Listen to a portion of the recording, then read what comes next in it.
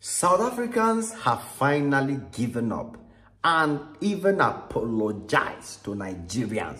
this is not a joke. I'm not joking, but lie. I will tell you guys the truth. Even the South African government joined the apology. The South African government came out to speak about this issue. That's to tell you that the whole country was disturbed. The whole South Africa was disturbed. The government could feel the impact they knew that immediate action needed to be taken. And there is one thing I appreciate about the South Africa government.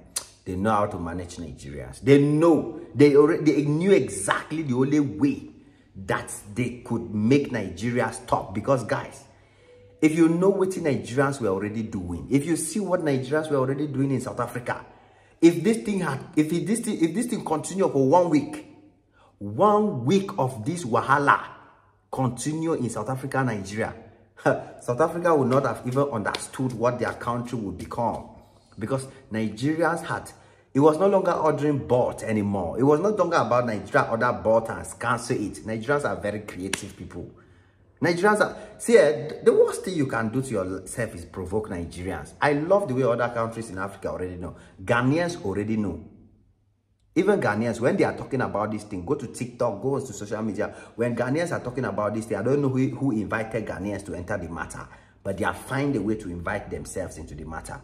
But when Ghanaians are talking about it, they themselves, they are confessing and telling South Africans that you made the mistake to drag Nigeria into social media wahala.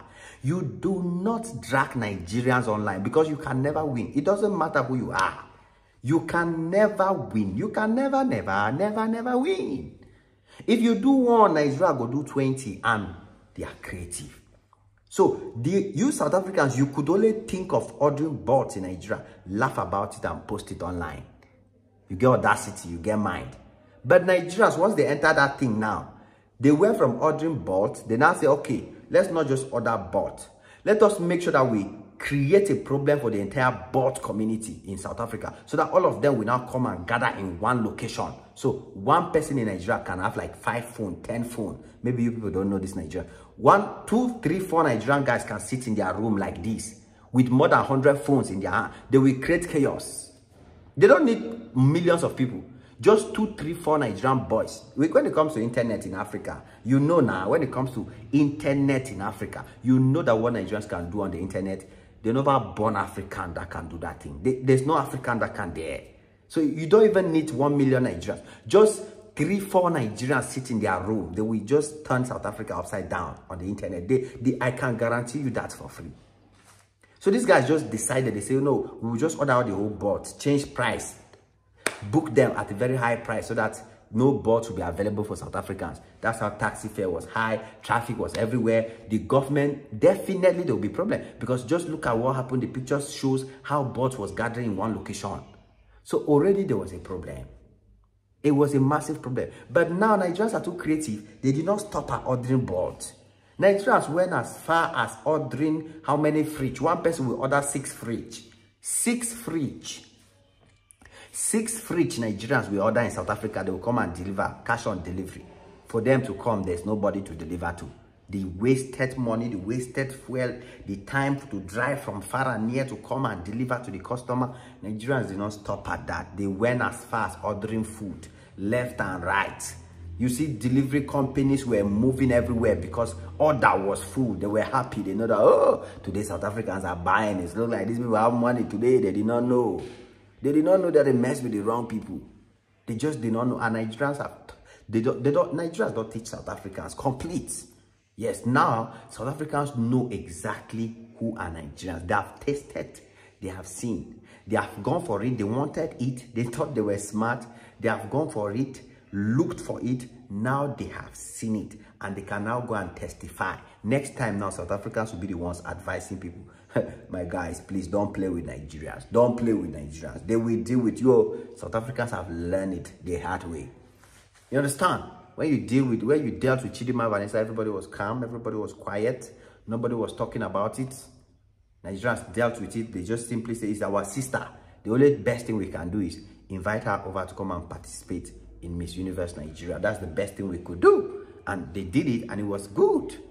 So you people now decided that you have to provoke Nigeria more. I don't now. So your government, let's talk about South African government before we end the video.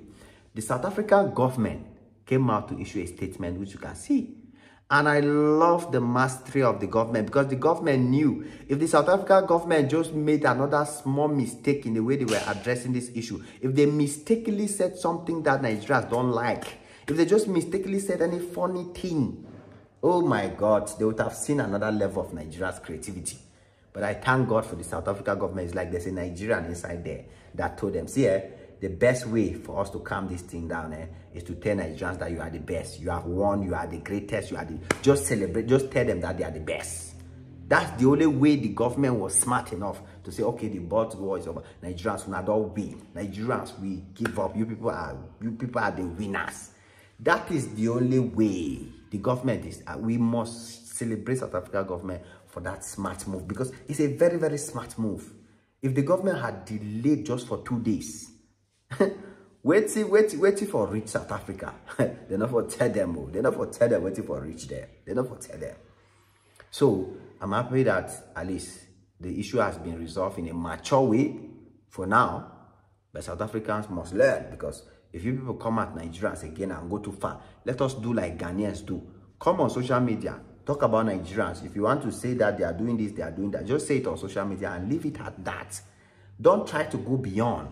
Let us leave it at social media banter, social media dragging, social media talking. Let the dragging end there. Because if you now go far and try to do too much, even now, as I'm telling you now, if South Africans touch any Nigerian in South Africa again, if South Africans bring xenophobia again to touch any Nigerian in South Africa again, you people will not understand what will happen. I cannot tell you. No, I cannot tell you. Just try it. You will see. You will see that your government will go down their knees and beg Nigeria government because eh, Nigeria, South Africa has more businesses in Nigeria than Nigeria has businesses in South Africa. I mean, mega, those small, small Nigerian owner businesses in, in South Africa, those are small, those are, you know, sole proprietorship businesses. But South Africa has mega billion dollar businesses in Nigeria. So try it again. They never tell now. Now go see Now go learn. It is what it is. Your boy Jim Maczy on this one again. Come back anytime you're free because there's always more beautiful and amazing videos just for y'all. God bless y'all. Cheese.